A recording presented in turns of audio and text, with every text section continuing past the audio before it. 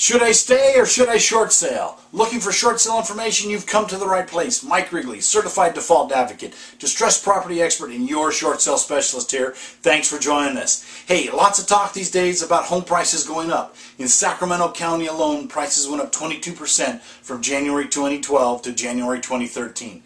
That increase allowed a number of families to sell and avoid a short sale. But can we expect further gains like this? The experts are telling us no. Average appreciation is 3 to 5% a year. Even if you include the run-up and crash of 2000 through 2012, appreciation was still only 3%, amortized over the, over the 12 years. So, should you short sale or wait it out? Obviously, that's a decision that only you can make. However, the fact remains that the Debt Forgiveness Act of 2007 does expire at the end of 2013, and no one's expecting it to be extended again. If you are foreclosed on or short sale after that date, you may owe income tax on the forgiven debt. Chances of seeing another 20% price increase in home prices is remote.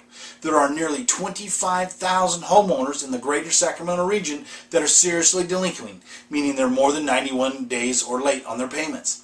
The cure rate, as defined by the number of households expected to become current or modify, is 5%, giving us over 23,000 homes that will, be, that will either be foreclosed or short sold, keeping appreciation closer to historic levels of 3 to 5%. This 23,000 represents a nearly two-year supply of homes in this region. So, should you stay or should you short sale? Well, a very personal decision. If you are more than 25% upside down in your home, you will have 10 or more years at average appreciation to get back to even. Short sale would seem the smarter thing to do. Is a short sale right for you?